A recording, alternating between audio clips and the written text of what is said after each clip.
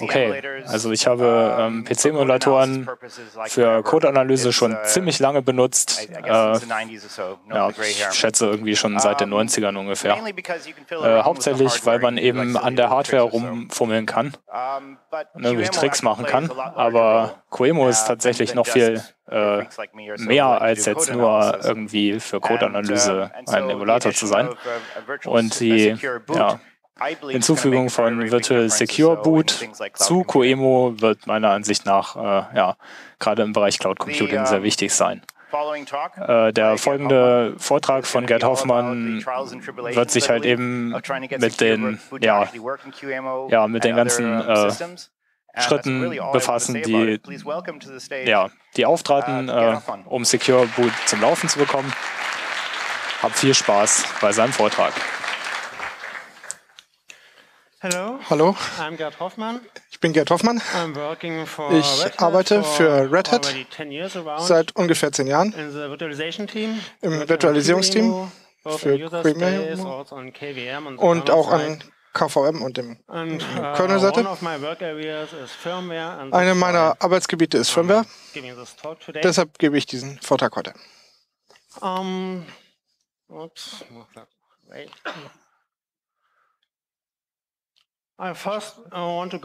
Zuerst möchte ich über einige äh, Terminologie gehen, worüber ich in diesem Vortrag reden werde, und wie man einen Plan baut, um äh, Secure Boot für virtuelle Maschinen aufzubauen und wie man das implementiert in, in allen drei äh, verschiedenen Unterprojekten. Und als nächstes dann eine kleine Hands-on-Session, wie man das macht, wenn man das selber rumbasteln kann. Mit genügend Zeit vielleicht auch eine kleine Demo und natürlich am Ende äh, QA.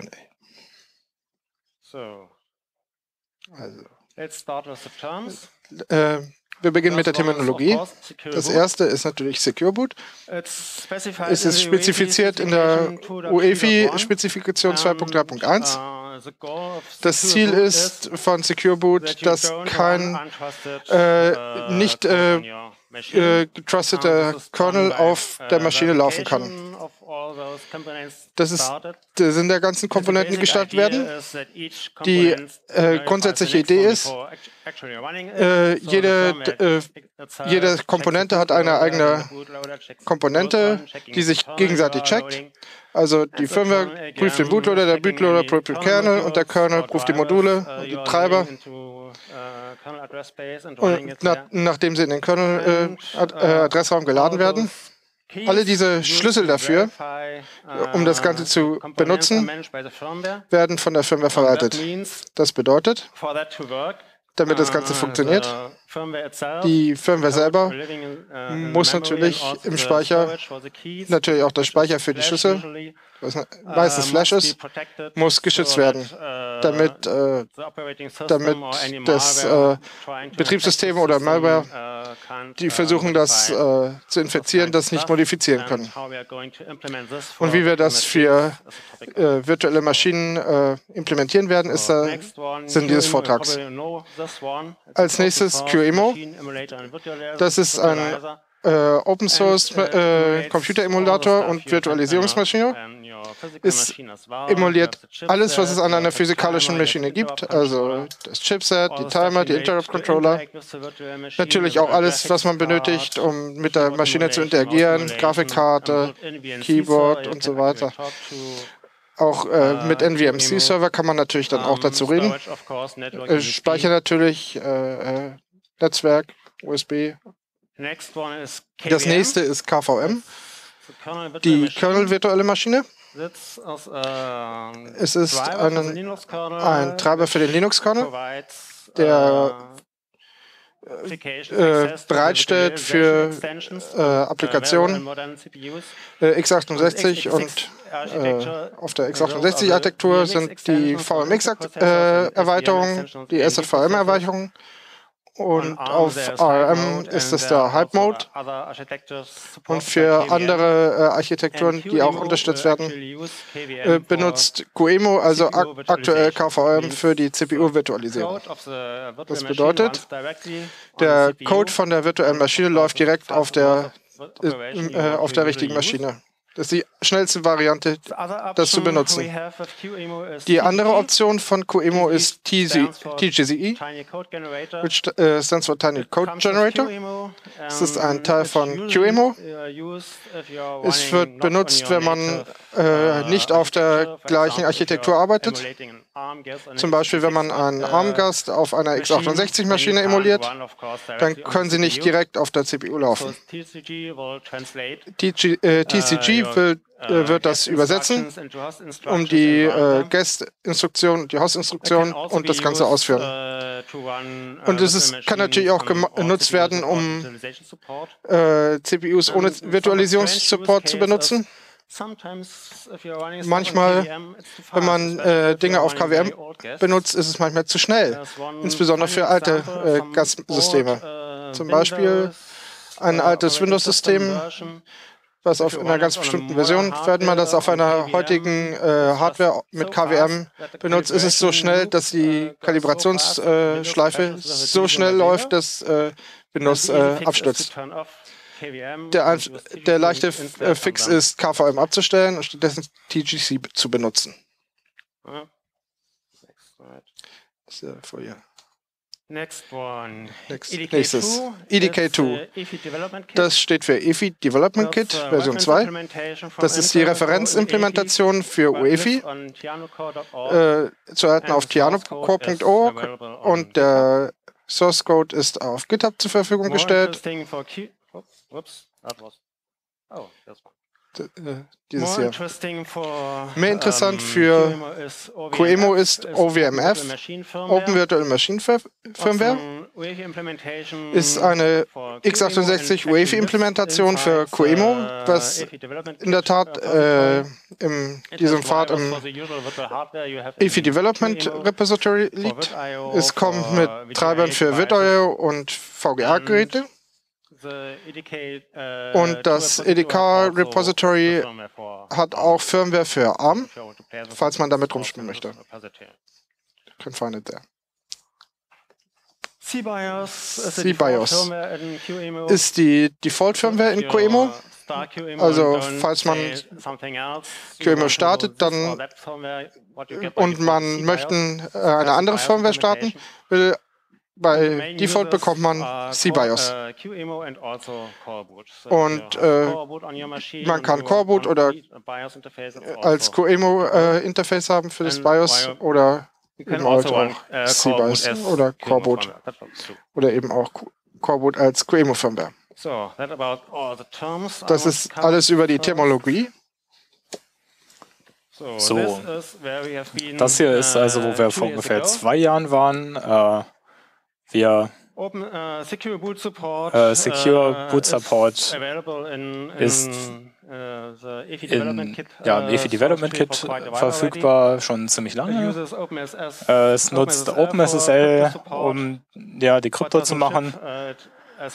Aber es ist nicht Teil vom Repository, sondern man muss das halt äh, über den Tarball importieren und einige Patches äh, anwenden, weil es da im EF, in der EFI-Umgebung doch einige Unterschiede gibt, zum Beispiel äh, kein Standard I.O. Und dann kann man das einfach bauen, also indem man die Secure Boot Enable Option setzt und dann hat man eine äh, Firmware mit Secure Boot Unterstützung. Aber das Problem hierbei ist, dass die Firmware selbst nicht geschützt ist. Also der, der Speicher und äh, der Hintergrundspeicher ist halt nicht geschützt und auch der Flash, wo die Keys dann rumliegen und die EFI-Variablen liegen der ist auch nicht geschützt. Das heißt, ein bösartiger Gast könnte dann äh, immer noch machen, was er will. Es ist zwar noch irgendwie uh, nützlich, äh, wenn man zum Beispiel Software mit Secure Boot Unterstützung entwickeln möchte. Und äh, ja, man kann das eben nutzen, dass man, äh, um zu überprüfen, dass man die Interfaces auf die korrekte Art und Weise benutzt. Aber äh, ja, ist halt noch nicht so ganz das Ende vom Lied. Ähm, so, when designing QEMU support als, for something new, ja, wenn man dann äh, QEMU Support für eine irgendwas Neues äh, entwickelt, hat man im Prinzip zwei, zwei, äh, zwei Möglichkeiten, das zu tun. Eine Option ist, äh, dass man ziemlich nah an echter Hardware dran bleibt. Also das heißt, man emuliert irgendetwas, das in der echten Welt existiert. Und die andere Option ist, dass man etwas vollständig Neues entwickelt, äh, also eine komplett virtuelle Softwarelösung. Man kann da ja alles machen, was man will. Das ist ja Software. Und äh, ja, beide Ansätze haben irgendwie Vor- und Nachteile. Also das heißt, wenn man halt etwas Existentes äh, einfach nur emuliert, dann funktioniert es halt leichter auf der Gastseite, weil die Gäste halt einfach diese Hardware sehen, obwohl sie nicht echt ist. Die Gäste können halt damit umgehen, haben schon Treiber dafür und das Gastbetriebssystem äh, wird einfach in der Lage sein, diese Hardware zu benutzen. Also äh, und es ist auch normalerweise einfacher, virtuelle und physikalische Maschinen zu äh, managen, weil es eben den Unterschied zwischen den beiden Setups sehr klein hält. Auf der anderen Seite äh, kann es halt relativ teuer sein, äh, sowas zu emulieren. Hängt natürlich ein bisschen von der Hardware ab. Äh, ein Beispiel ist der alte, sind die alten USB-Adapter, die relativ schwer zu emulieren sind in einer ja, Virtualisierungsseite relativ viel CPU-Zeit verbrauchen. Und äh, es war schon, ja, das, also es gibt es schon lange, äh, aber wenn man halt ein virtuelles äh, äh, USB-Target äh, an eine virtuelle Maschine verbindet, verbraucht das verdammt viel CPU-Zeit. Äh, ein anderes Problem ist, dass man äh, dass limitiert darauf ist, was die äh, physikalischen Hardware-Features können. Also das wird halt heute zum Beispiel ein Problem mit dem Cirrus Grafikadapter, äh, der deswegen auch nicht mehr der Standard-Grafikadapter ist. Cirrus VGA ist ein Design aus den 90ern und kann einfach nicht mehr mit den heutigen Anforderungen ja, Schritt halten. Äh, die andere Option ist dann äh, ja, etwas komplett neu zu machen, also Paravirtualisierung. Man hat dann natürlich dann mehr Freiheiten in, äh, im Design von den Dingen und man hat normalerweise auch bessere Performance. Wenn man es clever macht, kann man viel Code-Sharing betreiben. Zum Beispiel kann man den ganzen Wirt.io, äh, bei den ganzen Wirt.io-Geräten für SCSI, Network äh, und so weiter, die nutzen alle das gleiche Ringformat zwischen, äh, um den Datenaustausch zwischen äh, Host- und Gastbus-System zu realisieren. Und man kann auch einige einige Sachen stark vereinfachen, weil es halt eben eine virtuelle Maschine ist und manche Sachen einfach einfacher sind als auf physikalischer Hardware. Äh, ja, der Nachteil davon ist natürlich, dass man eben die Gasttreiber schreiben und äh, warten muss. Das ist nicht so ein großes Problem, äh, wenn man jetzt nur Linux benutzt. Äh, die Treiber sind einfach Teil vom Kernel, also man merkt es nicht so. Aber unter Windows zum Beispiel ist es deutlich sichtbarer für den Nutzer, weil man eben ein spezielles Treiber-Image braucht mit den ganzen Virtual-IO-Treibern drauf. Und wenn man halt, äh, ja, also ein Problem von, von Vereinfachung kann halt auch sein, dass es einem äh, dann auf die Füße fällt. Äh, es kann dann zum Beispiel auf längere Sicht Probleme geben. Zum Beispiel gab es in der originalen Virtual-IO-Spezifikation äh, die Sache, dass man gesagt hat, wir haben eine virtuelle Maschine, wir wissen, welche Endianness wir haben. Und das heißt, wir nehmen einfach immer die native Endianness. Das heißt, wir müssen uns da nicht um das Byteswapping kümmern. Und das war äh, keine gute Idee, weil äh, heutzutage oder dieser Tage IBM die PowerPC-Architektur auf Little Endian umstellt äh, die vorher Big Endian war.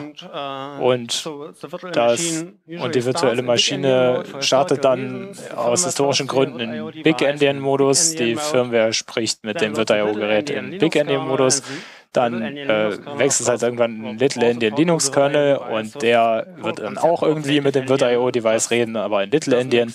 Und das macht halt alles irgendwie nicht so viel großen Sinn, gerade auch bei PowerPC nicht. So, das sind also die, äh, ja, die Fallen, in die man so da reinlaufen kann, wenn man halt zu viel vereinfacht. Also, äh, schauen wir uns mal an, wie die Firmware auf physikalischer Hardware geschützt ist. Ähm, ähm, es gibt etwas, das heißt System Management heißt, ähm, alle Prozessoren seit äh, ungefähr 20 Jahren oder mindestens 20 Jahren haben das Feature.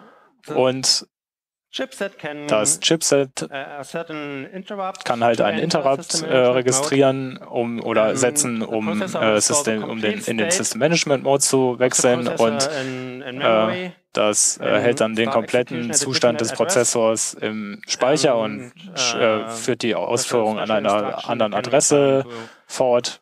Und es gibt dann eine spezielle Instruktion, mit der man wieder in den, normale, in den normalen Betriebsmodus zurückwechseln kann. Es wurde zum Beispiel für äh, Power Management entwickelt, dass man keinen speziellen äh, Co-Prozessor braucht, um das zu realisieren, sondern das einfach das Chipset machen lassen kann, äh, indem das Chipset halt eben diesen Interrupt wirft und dann äh, den Power Management Code laufen lässt. Also um zum Beispiel den Temperatursensor zu äh, checken und dann das, äh, die Lüftergeschwindigkeit zu regeln. Zeug wie ja, sowas halt. Ähm, es gibt halt auch einigen Speicher, den man nur aus dem System Management auch zu, aus zugreifen kann. Er ist ziemlich, ziemlich klein, 128 Kilobyte. Ähm, es ist ein äh, Platz im Speicher, wo normalerweise der VGA-Frame-Buffer rumliegt. Und neuere Chipsätze haben äh, zusätzlich dazu noch eine größere Section, äh, die T-Sec heißt und die kann bis zu 8 uh, Megabyte groß sein und die ist dann am, ja, am oberen Ende vom Speicher. Also am oberen Ende vom Speicher, aber unterhalb von 4 GB, also im 32-Bit-Adressraum. Und die Konfiguration für SMRAM und TSEC kann äh, äh, komplett gesperrt werden. Das heißt, sobald es äh, initialisiert und gesetzt ist, äh, kann es dann nicht mehr verändert werden bis die Maschine zurückgesetzt wird. Und das heißt, die Frage ist, ähm, können wir dasselbe auf QEMU machen wie auf äh, der blanken Hardware? Der Vorteil ist dabei natürlich, äh, ja, wir können eben darauf hoffen, dass wir nicht zu viel neuen Code schreiben müssen, denn wenn wir System Management Mode QEMU zu äh, implementieren, dann können wir halt eben den bestehenden Code aus dem EDK 2 Toolkit äh, benutzen, um das zu handeln.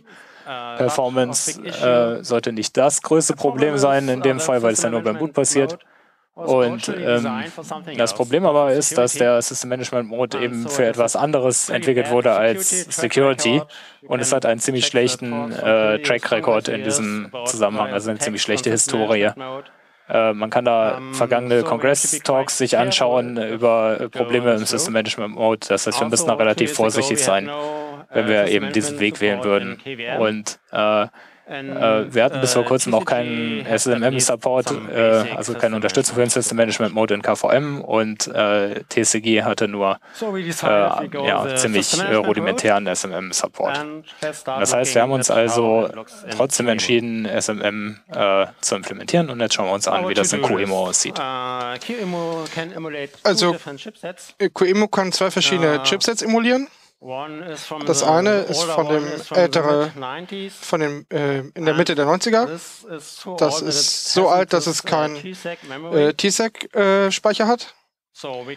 Also können wir das gar nicht benutzen für Secure Boot, uh, weil das, äh, die EDK2-Implementation äh, reicht nicht, um die in den SMM-RAM zu bekommen. Uh, wir haben das uh, äh, neuere Q35-Chipset-Emulation. Also, das kann man mit Dash M Q, äh, Q35 aufrufen. Wir haben einen gewissen SMRAM-Unterstützung. Uh, uh, das heißt, wir müssen TSEC äh, also implementieren uh, und wir müssen auch äh, Lockbit-Unterstützung äh, implementieren, wenn wir versuchen wollen, TSEC äh, zu sperren. Und wir müssen testen, dass es auch wirklich funktioniert. Und wir müssen natürlich rauskriegen, wie man den virtuellen Flash äh, schützen kann. Eine äh, der Möglichkeiten, äh, die wir nutzen können, ist die Memory API.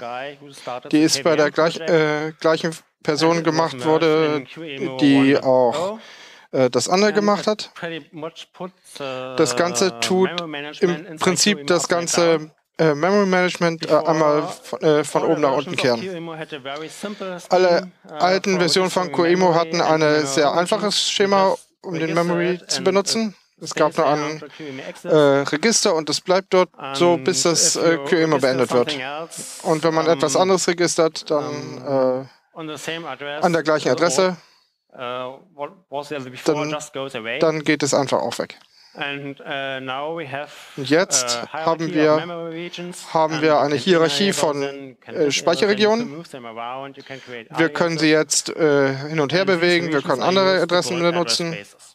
Das wird jetzt benutzt, um solche äh, äh, Adressräume zu benutzen.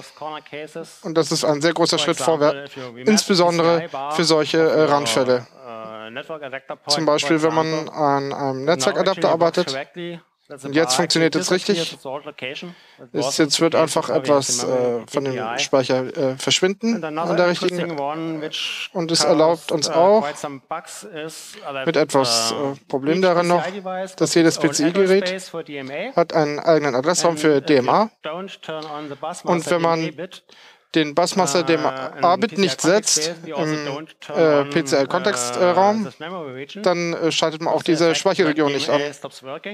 Das bedeutet, dass DMA äh, seine Funktion einstellt. Es gibt einige, äh, einige Treiber, wie zum Beispiel die VirtIO-Treiber, die noch nie auf richtiger Hardware getestet wurden. Und das bedeutet einige äh, Änderungen bei diesen Treibern. Implementierung äh, von SMM ist ziemlich äh, unmöglich ohne dies. Sehen wir mal, wie das Ganze aussieht. Ein bisschen kleiner.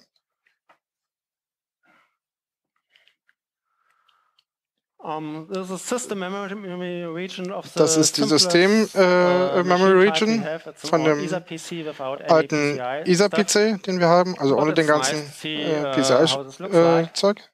Äh, es ist schön zu sehen, wie das Ganze aussieht. Das ist eine Systemregion, die den gesamten Adressraum annimmt. Uh, wir haben den Speicher. 128 Kilobyte groß ist, glaube ich. Wir haben einen Container, der die ganzen äh, Unterregionen äh, hat, hält für die ganze Server-Side-Memory. Und man kann sehen, was jetzt genau hier sichtbar ist. Oh, hm. Ist dieses hier. Die anderen Regionen sind äh, deaktiviert. Man kann die äh, uh, programmieren, dass die VGA Bank Register einiges von dem VGA-Speicher uh, äh, benutzen auf diesen beiden Bereichen. Und es wird äh, in dem einen Fall aktiviert und es wird sichtbar sein für den Gast, weil es die höhere Priorität hat. Und es wird sich überlappen. Und die eine Region ist ein BIOS. Das ist für eine ISA-Maschine. Wie sieht es aus für, für das Coemo 35 System? Sehr ähnlich. Wir haben uh, natürlich äh, die, die ganzen PCI-Regionen, uh, die ich hier weggelassen habe, um genug Platz zu haben. Wir haben die SMM-Speicherregion, uh, die natürlich schon in früheren Versionen dort war, für die grundlegende Funktion, die wir dort hatten. Was neu ist, ist äh, das TSEC Record. Uh, uh, das überlappt sich mit dem oberen RAM-Bereich. Uh, das ist, äh, das ist der oberste Bereich des Speichers. Und das hat eine höhere Priorität. Wenn der Gast versucht, äh, diesen Speicherbereich zu äh, äh, benutzen. Es würde nicht äh, funktionieren, man bekommt nur FFF, nichts anderes. Auf diese Art und Weise können wir TSEC verstecken, von dem normalen äh, von der normalen Systemübersicht verstecken. Da gibt es natürlich auch MMIO hier. MMM-Config, und MMM-Config, den, den Adressbereich, uh, natürlich IOAPIC. Also und das Q35-Chipset hat natürlich auch dort eine etwas höhere Adresse. Oh, it's disabled, it's disabled uh, es ist deaktiviert, um zu zeigen, dass wir es nicht benutzen, aber der Alias ist dort. And then we have, Und wir haben für Message Signaling Interrupts dort zwei äh, Speicherbereiche für den Flash. Wo der Flash 1 ist, äh, Firebus Other lives und der andere, wo der äh, Code lebt. Kommt dazu später. Um, um den äh, Zugriff zu aktivieren, As, uh, System Memory, uh, System zum, SMM Memory zum SMM-Modus äh, auf den SMM-Speicher haben wir diese Region, welche Aliasse hat, zum äh, niedrigen und hohen SMRAM-Bereich äh, und TSEC? und jeder von denen? Und jeder einzelne virtuelle um, CPU bekommt ihren eigenen Adressraum. Uh, die sind dort. Diese beiden sind einmal SMRAM, uh, die sind verschieden, und der normale Speicher. Der ganze normale äh, Speicher auf der vorhergehenden äh, Folie. Und wenn die äh, CPU den SMM-Modus äh, äh, eintritt, dann kann die CPU all diese Bereiche lesen oder beschreiben. Und danach wird es wieder deaktiviert. Es ist nicht mehr sichtbar. Und wir haben an dieser uh, Bereich äh, äh, Adressräume für jede virtuelle CPU.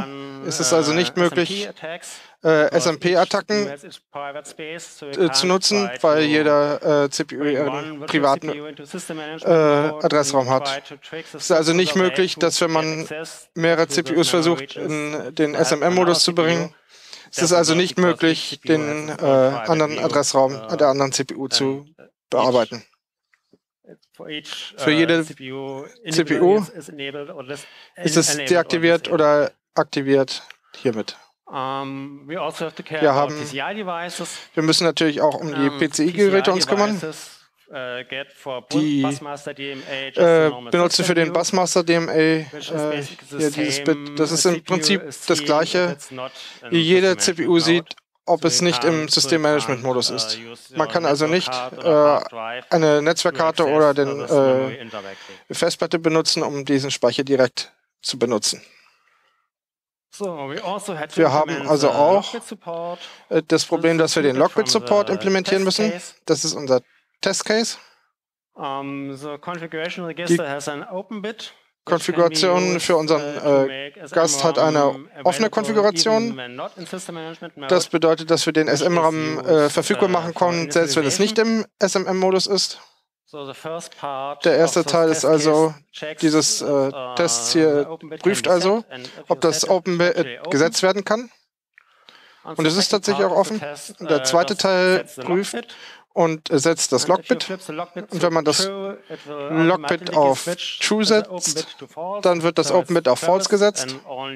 Und SMRAM ist nur zum System Management Mode äh, verfügbar dann. Und es wird auch das OpenBit geflippt, sodass man es nicht wieder öffnen kann. Uh, Dieses Logbit wird auch die Konfiguration äh, sperren für TSEC-Speicher. Das originale Q35-Chipset in physikalischer Hardware hatte einen Bug. Da ist ein Register, welches den äh, Speicheraufteilung äh, registriert insbesondere, insbesondere was vor und nach 4 GB äh, registriert wird, wenn man das Ganze sperrt. Es wird ein Logbit gesetzt, um die äh, Konfiguration uh, zu sperren, wo uh, TSEC und die äh, Größe und das Enable-Bit sind gesperrt, aber nicht dieses Konfigurationsregister. Man kann dieses Konfigurationsregister nutzen, um den Speicher, äh, um diese Schutz äh, wegzuschreiben und den uh, Speicher dann doch zu benutzen. Das ist relativ einfach zu benutzen für QEMO dann. Wir müssen einfach nur den äh, Speichersplit nicht so konfigurieren, sodass das Problem nicht mehr existiert. So kann man das auch nicht mehr ausnutzen. Uh, Und wir nutzen, wir machen die äh, Memory-Konfiguration äh, mit Command-Line-Switches. Und alles über äh, ist ganz einfach.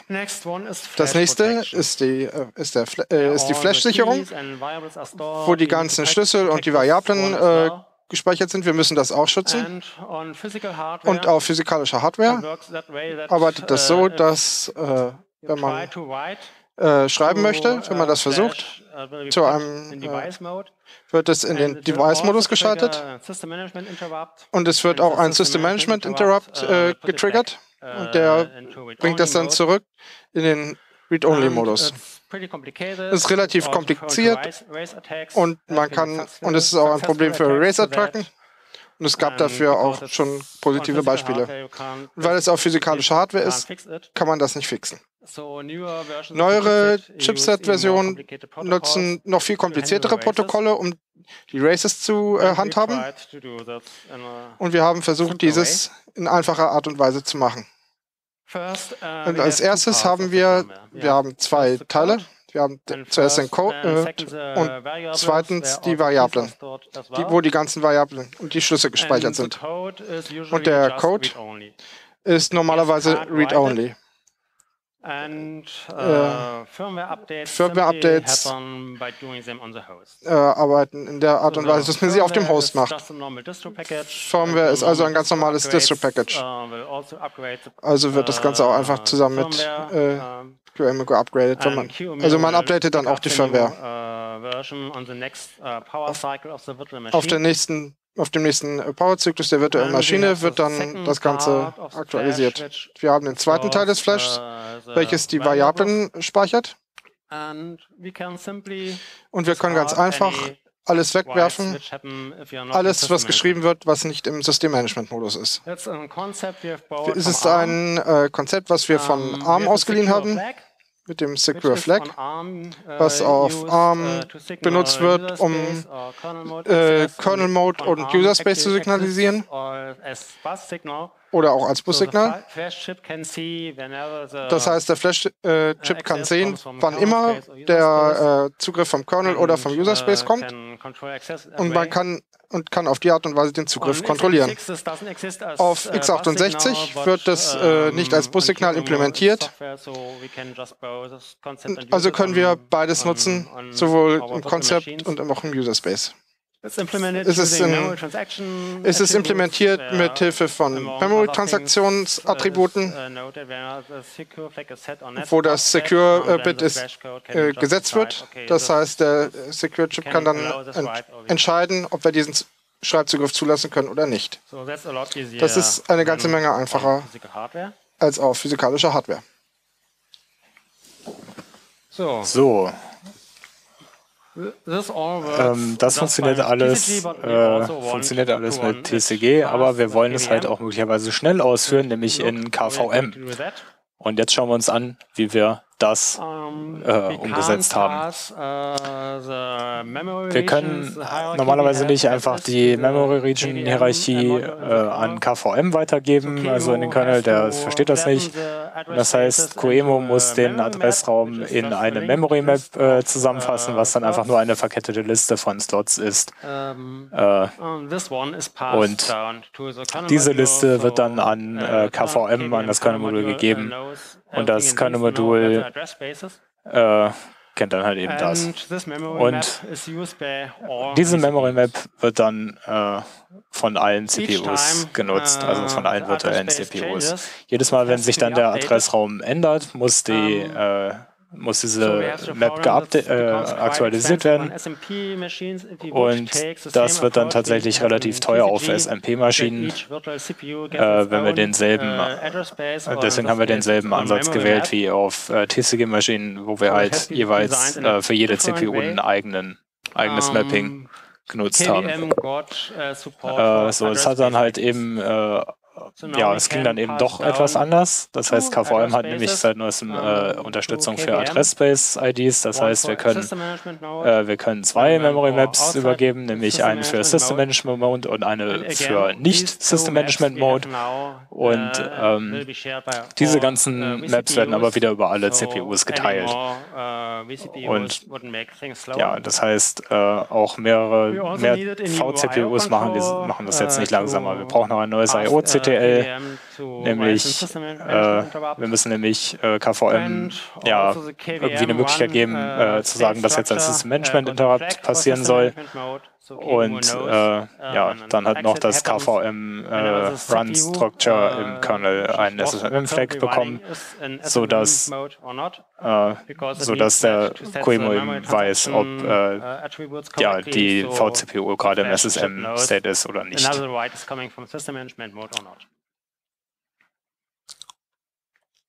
So. Äh, das hier sind dann die Adressräume im KVM-Modus. Äh, sie sehen etwas anders uh, aus. Wir haben zwei von ihnen, äh, um halt eben diese beiden Memory Maps zu generieren. Eine ist, die CPU, ist der CPU-Speicher, das ist der normale, die normale Systemansicht. Uh, wenn man also nicht im System Management Mode ist. Und, uh, und für den System Management Mode Uh, haben wir dann eben diesen KVM SM-RAM Adressraum, uh, der im Prinzip einfach SM-RAM ist, also ein uh, SM-RAM-Container ziemlich ähnlich zu dem aus dem TCG-Mode, allerdings in höherer Priorität. und dann mit niedrigerer Priorität ein Alias zum normalen System RAM. So, so, äh, das war es also im Prinzip für KVM. Also Und äh, da müssen wir das natürlich auch irgendwie in UVMF unterstützen. Also äh, haben wir uns einfach gedacht, das sollte eigentlich nicht so schwer sein, weil eben der ganze Gedanke da hinter war, dass wir es mit SSM waren, dass wir eben den Code äh, sharen können und wiederverwenden können. Und dieser SSM, SMM Logworks Code befindet sich im EDK2-Repo. Aber äh, die SMM-Initialisierung und die Händler dafür nicht. Also äh, haben wir uns umgeschaut, haben die uh, Intel-Leute gefragt, äh, die halt eben dieses EDK2-Repo äh, maintainen. Und äh, was wir zuerst bekommen haben, ist, war ein uh, Hinweis auf, äh, so, auf das Quark-Toolkit, uh, was ein 32-Bit Referenzdesign von Intel ist. Und äh, da war halt auch nur der 32-Bit-Code drin, was uh, etwas äh, enttäuschend war. Und Laszlo, ein Mitarbeiter von mir, hat äh, ein, ein, Kollege von mir hat einen Bug da drin gefunden, was dann auch nochmal äh, ja, alles etwas verzögert hat. Wir hatten viele Diskussionen mit Intel, auch mit den ETK2-Maintainern und den Quark-Team und Security-Team-Maintainern. Äh, das Sicherheitsproblem wurde nicht besonders äh, uh, nicht besonders äh, gut äh, behandelt. Mir ist kein offizielles Security Advisory bekannt, das dazu veröffentlicht wurde. Aber äh, ein halbes Jahr später war dann der Code committed ins EDK2-Repository und zwar nicht nur im 32-Bit-Code, sondern auch im 64-Bit-Code, den wir dann auch bekommen haben. Äh, Eben, also da ist halt auch der X6, äh, X64-Support mit rausbekommen mit gefixtem Code. Und äh, wir sehen halt äh, derzeit einen äh, kontinuierlichen äh, Fluss an Änderungen und Erweiterungen. Und es ist halt nicht so wie bei Android, dass einfach nur ein Code-Dump kommt, sondern es sieht tatsächlich ganz gut aus. Es passiert tatsächlich, die Entwicklung passiert also tatsächlich äh, im Repo, im offenen, also Open Source. So the nice thing is at some point in the future. So, das Schöne ist dann, weil halt es eben auch für von OEMs veröffentlicht wird, sollte man dann irgendwann in der Lage sein, sich anzuschauen, welcher Code da tatsächlich auf dem eigenen Laptop läuft. Also es ist ganz schön, dass wir äh, im Rahmen dieser Anstrengung äh, diese Sache Open Source bekommen haben. Uh, ähm, uh, so jetzt mit diesen ganzen Sachen erreicht, war es eigentlich dann relativ äh, einfach, das so umzusetzen, wie wir uns das ursprünglich gedacht haben. Es hat einige uh, Versuche gebraucht, äh, das korrekt zu bekommen, aber wir haben es dann irgendwann äh, gemerged bekommen einen Monat nachdem der Initialisierungscode gemerged wurde. Das heißt, wenn ihr ihr mit rumspielen wollt, äh, braucht ihr QEMU 2.5, also äh, Linux-Kernel 4.4 oder neuer. Äh, das sollte kein besonders großes Problem sein mit einer einigermaßen uh, aktuellen Distribution. libvirt-Unterstützung, das hat etwas länger gedauert äh, in Version 2.1.0. Das ist noch relativ neu. Es könnte also sein, dass äh, äh, ihr es in eurer Distro nicht habt. EDK 2 macht nicht wirklich Releases, also das, ja, man kann einfach den letzten Git, äh, Git Snapshot nutzen. In Red Hat 7 nutzen wir einen Snapshot aus der Mitte des Jahres. Und dann sieht das in der libvirt-Konfiguration so aus. Ihr braucht den Q35-Maschinentyp, seht ihr hier. Ups, das ist ein bisschen lang. Äh, ich mache es nochmal ein bisschen kleiner, damit es reinpasst. Ähm, wenn ihr nicht die Default-Firmware, also wenn ihr nicht C-BIOS wollt, dann müsst ihr halt eben diesen Loader-Tag spezifizieren, mit dem ihr, äh, ja, der heißt so aus historischen Gründen, kommt noch aus Xen-Zeiten, aber wir benutzen das jetzt nur, weil wir den Read-Only mappen wollen. Äh, Secure benutzen wir für den variablen äh, und Type P-Flash bedeutet, dass es äh, Flash-Speicher ist. Und dann dieses NV-RAM-Template, das ist ein Template, also eine Vorlage für den variablen äh, Speicher, in dem Fall den leeren variablen Speicher. Und äh, das wird dann, äh, libvirt wird dann halt automatisch eine Kopie davon erstellen, irgendwo in varlib libvirt speichern und äh, die dann äh, weiter benutzen in uh, Zukunft. Und natürlich braucht man bei den äh, Features System Management Mode äh, angeschaltet. Das äh, ja, ist halt standardmäßig aus, damit es auch äh, auf älteren Versionen funktioniert. Äh, der QEMO-Aufruf sieht dann folgendermaßen aus. Man braucht halt wieder den Q35 Maschinentyp und man muss den System Management Mode anschalten. Äh, die hier erstellen den, das Flash-Gerät halt äh, das erste äh, für die Firmware, für den Code, das wir halt eben auf Read-Only gestellt haben. Und das zweite äh, für die Variablen, die wir, äh, das wir auf Secure-Modus gestellt haben, äh, was wir mit diesem Konfigurationsparameter tun und dann eben halt die ganzen weiteren Argumente zur Konfiguration von Coemo. Uh, Eine ganz schöne Sache hier bei ähm, Coemo-Unterstützung, also bei der Coemo-Unterstützung ist, dass man äh, Coemo-Argumente einfach in die libvirt-Konfiguration mit reintun kann, in diese speziellen QEMO-Tags.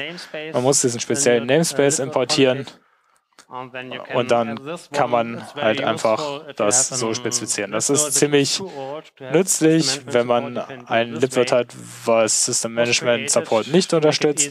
Dann kann man, äh, kann man das halt so reinbauen. Es wurde speziell gemacht, damit Entwickler an neuerem QEMO Kram entwickeln können, was noch nicht von libvirt unterstützt wird. So, das heißt, man kann dann einfach die QEMO-Command-Line halt direkt da drin bearbeiten. Um, äh, ich betreibe eine Jenkins-Instanz, die automatische Firmware-Builds von äh, Builds erstellt. Man findet es äh, unter dieser Adresse. Jedes Mal, wenn etwas äh, upstream äh, committed wird, äh, wird ein neuer Build angetreten. Das heißt, es wird relativ häufig geupdatet. Es ist ein einfacher Weg, halt eben EDK2, äh, die EDK2-Firmware zu installieren, also das Open, äh, OVMF-Format. Äh, es gibt auch noch Pakete für CBOS und Cobot, aber ja, für uns ist halt VMF am interessantesten. Es gibt drei verschiedene Varianten. Es gibt, es gibt die eine, die heißt Need SMM, das ist halt die mit System Management Support. System Management Support ist eine Compile-Time-Option, das heißt, dieses äh, Binary funktioniert nicht ohne System Management Support und äh, es braucht halt eben auch Q35, weil äh, äh, ältere Versionen einen äh, nicht ausreichend großen T-Stack haben. FurEFI ist dann einfach eine EFI-Firmware, äh, die funktioniert dann auf, sowohl auf Q35 als auch E4440FX, aber hat eben keinen Secure Boot Support. Als auch ist äh, CSM, das heißt, äh, ist mit CBIOS Unterstützung äh, kompiliert. Und äh, ja, man kann das dann halt in der virtuellen Maschine direkt nutzen und wenn man damit irgendwie rumspielen will oder sowas, dann äh, ja, kann man das halt benutzen. So. Okay, what's the time? Wie ist die Uhr? Yeah, ah, okay, wir haben demo. genug Zeit für eine Demo. Um, also. Uh,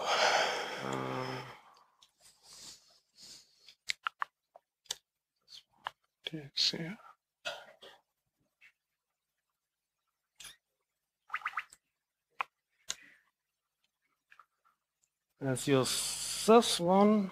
Lass uns dies hier benutzen.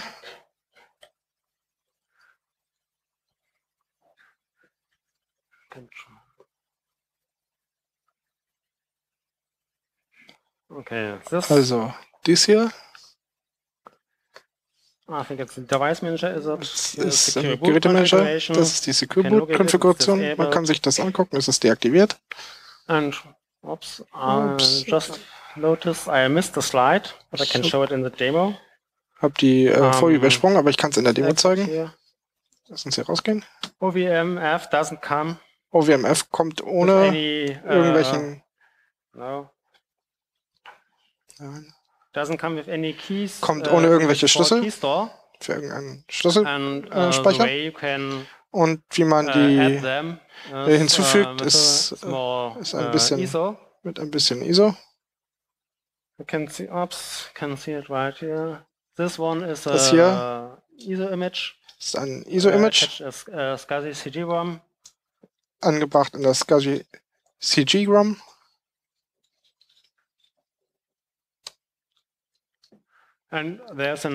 Das hier ist äh, eine EFI-Anwendung, uh, die genutzt werden kann, um die äh, Default-Schlüssel äh, äh, hinzuzufügen. Oh. So, add the keys. Äh, die Schlüssel hinzufügen uh, enables, uh, Secure Boot Support. und äh, Secure Boot Support aktivieren. Dann können wir reboot. Äh, neu starten. And then it just stops. Und the reason for that is that the bleibt kurz image stehen. which enables Secure Boot und dieses äh, ISO-Image, was Secure Boot aktiviert, ist nicht äh, signiert, so dass äh, Secure Boot das nicht lädt. Um, oops, that wasn't. So I can just use this one. Also nehme ich einfach dieses hier. So let's kill this one. Erstmal dieses hier äh, beenden.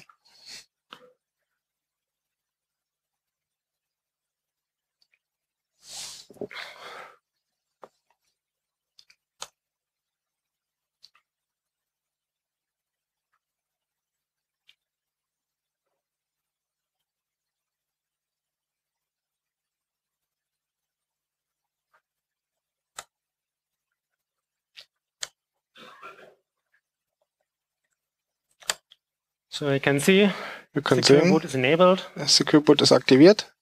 And if you look, Und wenn man sich jetzt das hier anguckt,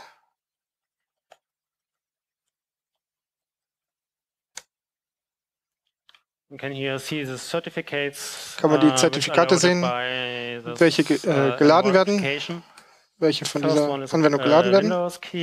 Das erste ist ein Windows-Schlüssel, den Microsoft benutzt, um die ganzen äh, Windows-Betriebssysteme äh, zu signieren. Das andere ist, eins, ist ein äh, Schlüssel, den Microsoft nutzt, um Third-Party-Anwendungen zu signieren. Zum Beispiel wird er benutzt, um Linux, Linux-EFI-Anwendungen oder Dual-Boot-Anwendungen zu nutzen. And also PCI ROMs and Natürlich like auch PCI ROMs und ähnliches. And, uh, the Red Hat version of the ISO und die also Red Hat Version von diesem ISO hat das natürlich auch den eigenen Key installiert.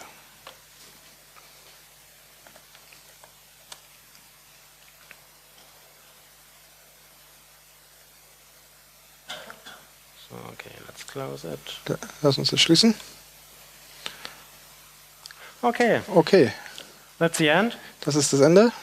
Um, I didn't do this all on my own. Ich habe das nicht alles alleine gemacht. Es war ein sehr relativ geringer Teil. Zum Beispiel das Q, die Q35 Chipset-Implementierung. Also uh, Auch Paolo war daran beteiligt, uh, der den ganzen KVM und TCG-Code äh, beigetragen hat. Ist ein KVM-Kernel-Maintainer. Uh, und das meiste hat uh, in, drin gemacht, in, innerhalb von OWMF. Und das ganze Gerede mit den Intel-Leuten und die Sache mit dem Source Code für die SMM-Initialisierung war Laszlo. Der hat die meiste Arbeit gemacht am Ende, wenn das Ganze geht. Die äh, Slides sind online auf diesem Link. Cool, that's it. That's Any it. Questions? Irgendwelche Fragen?